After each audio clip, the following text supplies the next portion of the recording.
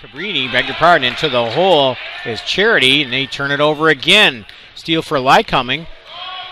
Numbers into the hole with the left hand. Lycoming among the national leaders, 23rd in the country in steals, and another turnover in steal into the hole. Willie Key, he lays it in. Run. Key pulls up. Now three point bid Johnson. The lefty got it. David Johnson, he's got a three point. Back comes Johnson the other way. He's got to pull up three. Got it. David Johnson with a three pointer.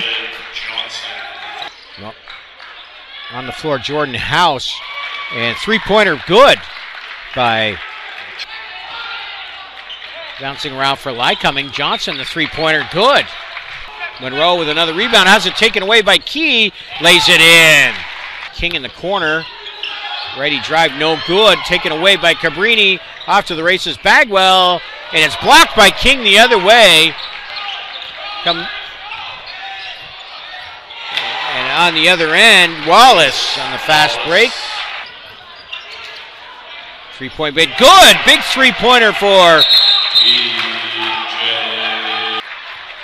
And pick up their first win in NCAA play as they get it down low to Wallace for the bucket.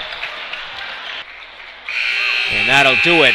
So the Lycoming Warriors snap a 13 year dry spell in the NCAA tournament with an 86 70 victory over Cabrini.